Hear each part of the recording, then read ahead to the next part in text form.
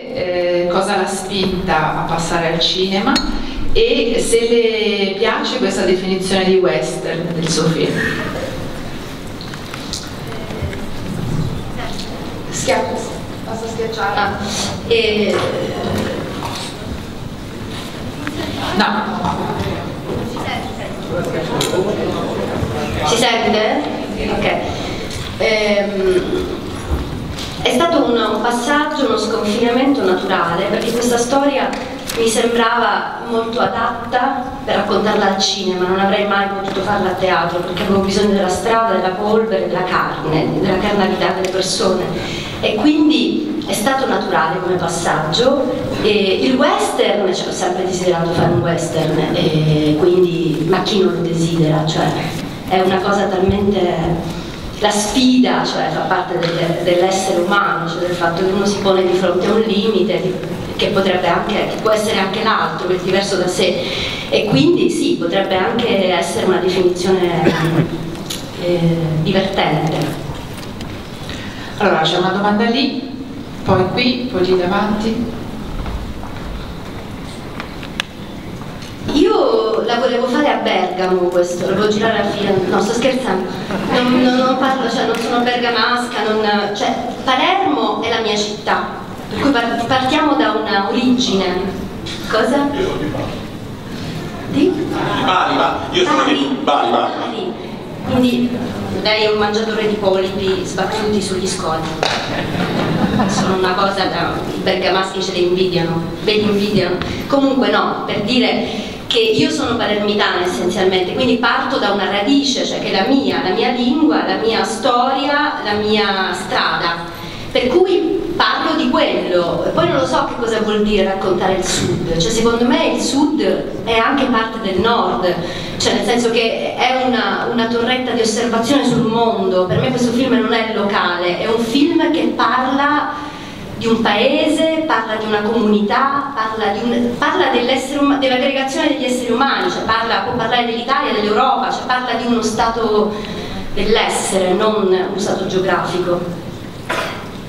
Ti all'inizio, no, nel senso che cerco di rispondere facendo un'unica risposta di tutto, dicendo che questo film è stato girato seguendo il mio metodo, il metodo che io uso nel teatro, quindi eh, lo abbiamo provato tanto, un mese e mezzo nel mio spazio teatrale, con la mia compagnia, con Alba ed Elena e, e tutti gli attori della mia compagnia. E poi, eh, poi io, io ho avuto la fortuna di trovare dei grandi collaboratori, quindi c'è dietro una squadra molto forte che, che, funziona molto bene, per me la cosa della squadra è la prima cosa per fare qualsiasi, qualsiasi no, uh, opera eh, e quindi insomma mh, mm, tutto questo ha funzionato perfettamente. Il ragazzino eh, che effettivamente è un personaggio illuminato, possiamo dire, perché comunque anche se viene da quella famiglia lì è uno che sicuramente ce la può fare, no? che parla un'altra lingua, che può elaborare un altro tipo di pensiero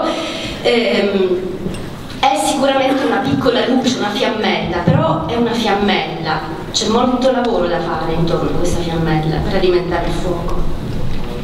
La, la, la, via, la strada di via Castrara Bandiera per me è la via larga del finale, non quella dell'inizio.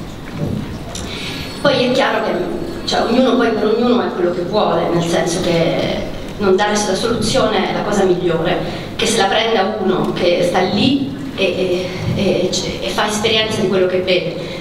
Um, noi vediamo, forse non sappiamo più vedere le cose, forse le vediamo distorte, le vediamo più strette, cioè vediamo uno spazio più stretto dove non ci sta nessuno, ce ne impossessiamo, diventa proprietà privata, ma in realtà lo spazio è grande e ci sarebbe per tutti, eh, anche per gli omosessuali, anche per le coppie che, che, vogliono avere i diritti che hanno gli altri, no? quindi per me Rosa e Clara sono due persone che si amano. Io mi sono anche un po' stancata di dover parlare degli, omosessuali, degli omosessuali delle storie degli omosessuali in maniera, eh, come dire, eh, sopravvalutandola. Cioè io vorrei che questa storia diventasse finalmente una storia naturale senza dargli, uh, senza dover necessariamente trovare il modo di raccontarla. Cioè due persone che si amano non hanno bisogno di trovare un modo per raccontare questo amore.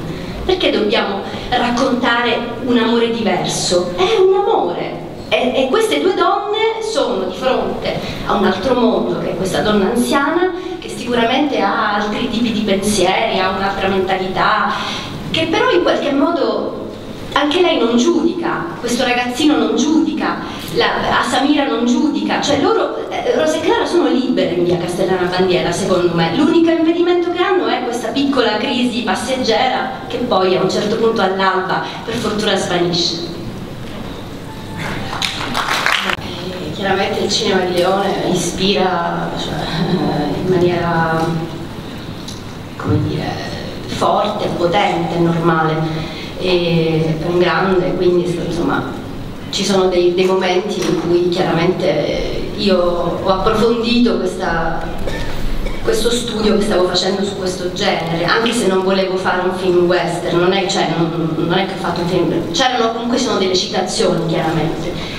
Il, il precipizio della, della via, il precipizio della fine della via è un precipizio eh, secondo me eh, presente che però non, ancora non è del tutto, cioè noi non, non, non sentiamo la caduta, esiste, sappiamo che c'è questa, questa umanità che viene verso di noi e noi siamo quel precipizio, quel precipizio che però poi non si sente, cioè non, non, non, abbiamo voluto che si sentisse il rumore della macchina che cadeva né la gente dietro la macchina da presa che che, che confabulava. A un certo punto questo precipizio non, non si sente più, non si percepisce più.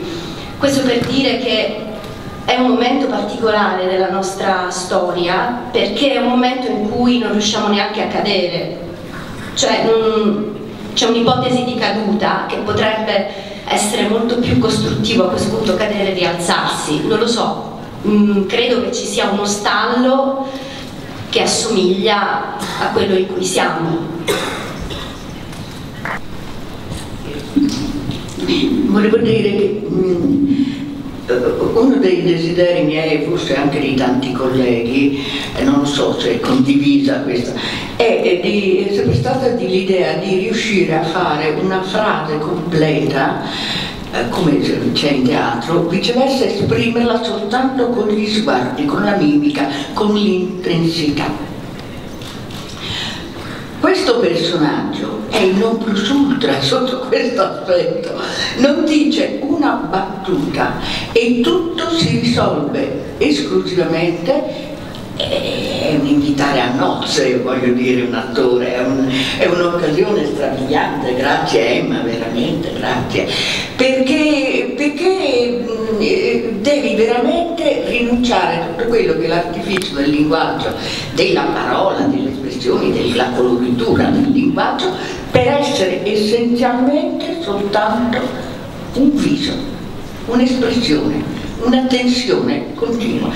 Io ho trovato un'esperienza eh, incredibile, bellissima, meravigliosa, con la coscienza che è irripetibile certamente. Eh, difficoltà e talmente la sfida bella, forte, eh, che non, forse non, non, le ho neanche sentite onestamente. Ho lavorato bene, ho lavorato in un clima eh, straordinario, questo mi ha aiutato naturalmente e, e devo dire che sono stata molto felice.